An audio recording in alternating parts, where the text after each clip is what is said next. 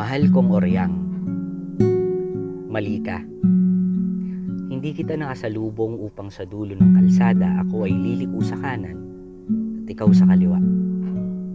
Sapagkat saan man tayo dalhin ng ating pakikibaka, ikaw lang ang aking itatangi at makailang ulit na iaharap sa pulang bandila. Hindi tayo nagpalitan ng mga kwento upang sa pinakahuling tuldok ng pangungusap, ang karugtong ay alingawngaw ng katahimikan. Walang pagod kitang aawitan ng himnong pangbayan, Oryang. Hindi kailanman ako mauubusan ng salita upang maialay sa iyo bilang mga tula.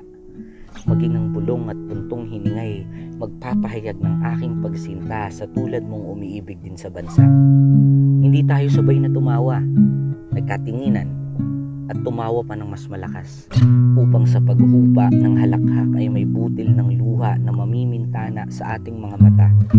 Loobin man ng may kapal na pansamantala tayong magkawalay, tandaan mong ang halakhak at sigaw ng ating mga kasamahan ay sa akin rin.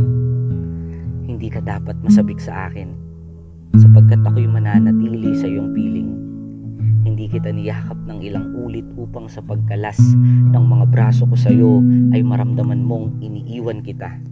Habang buhay akong magiging tapat sa aking panata. Oryang, kapara ng binitawan kong sumpa sa ngalan ng bayan, tayo'y mananatiling katipon, kawal at bayani ng ating pagmamahalan. Hindi tayo bumuo ng mga alaala sa umaga, tanghali at gabi upang sa muli mong pagising ay maisip mong hindi tayo nagkasama sa pakikidigma. Hindi ko man hawak ang bukas, nais kong tanganan mo ang aking pangako na ilang ulit kong pipiliing mabuhay at pumanaw upang patunayan sa iyong mali ka. At kung magkataong ako'y paharapin sa ating anak na si Andres, buo ang loob kong haharap sa kanya at sasabihin ko sa kanyang mali ka. Hindi ako bumati sa simula upang sa huli ay magpaalam. Ikaw, ang aking bayan. Andres.